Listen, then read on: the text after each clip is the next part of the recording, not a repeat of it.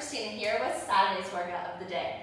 So we have a fun one. It's a descending ladder of some snatches, some squats, and some burpees.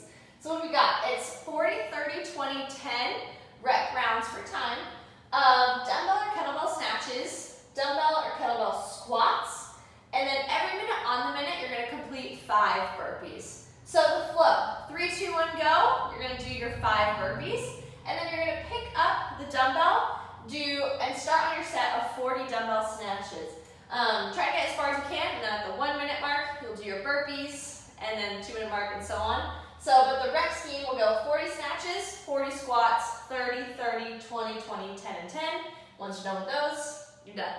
Um, for the burpees, if the five take longer than 20 seconds, you can go ahead and cut those down. It might be three burpees, it might be four burpees, but if it's exceeding longer than 20 seconds, then yeah, definitely cut it down because we want the majority of the workout or the minute to be put to the snatches and squats.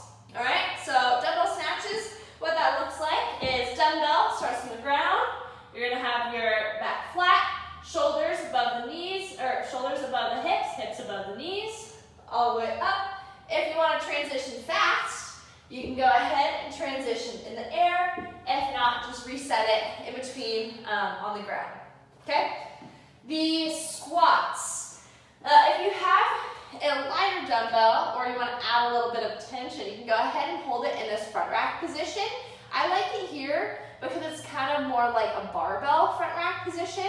If not, and it's a little heavier, you can go ahead and rest it more here, like a goblet um, squat, or if it's super heavy, and you can go ahead and rest it on your shoulder as you do the squats.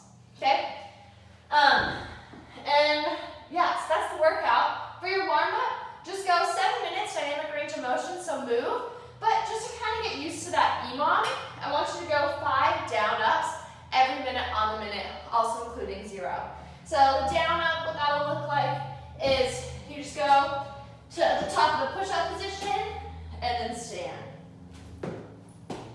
and so. Okay? Um, the second part of the warm-up, you're to use a PVC.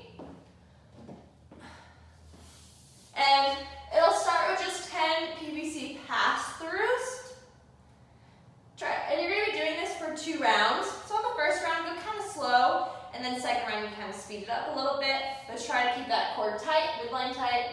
Second, PVC good mornings. So it'll go on your back, soft knees here, flat back, squeeze the butt on the way up.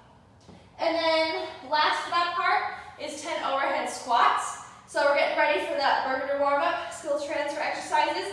Lock those armpits into place, so armpits forward, elbow pits up. Use that first set to go nice and slow. And then in that second set, you can speed it up. And then once you're done with those, you're gonna go through that yet twice. And then we're gonna warm-up, skill transfer exercises. Make sure you do that. And then, yeah, just kind of prep your movements after that and have fun with the workout.